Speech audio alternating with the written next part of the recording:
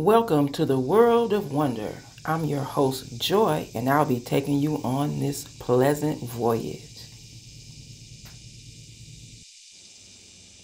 Snakes and their characteristics. Snakes are elongated, legless reptiles belonging to the suborder Serpentines. They have scaly skin, which helps prevent water loss and protects them.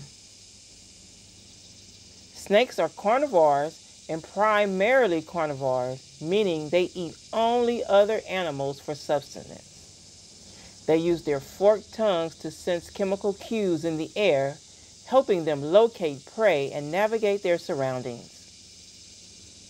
Habitat and behavior. Snakes inhabit a wide range of environments, including grasslands, forests, deserts, and aquatic habitats. Many snakes are exothermic, meaning they rely on external sources of heat to regulate their body temperature.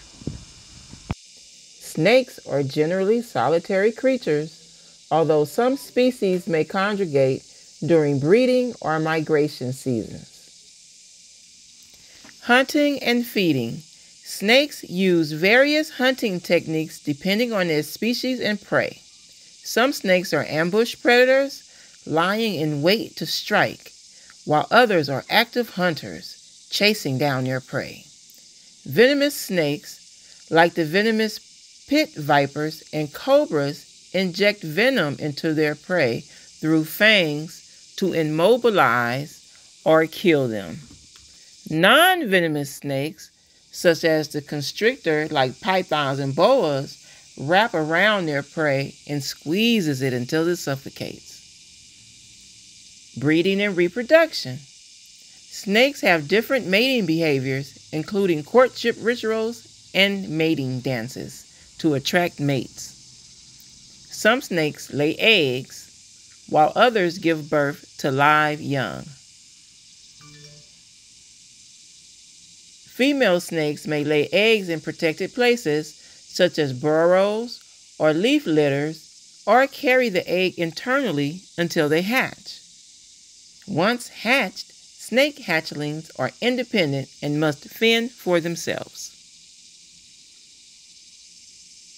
Let's take the ball python for example. The ball python is a non venomous snake found in Africa. It hunts primarily at night and feeds on small mammals, birds, and reptiles.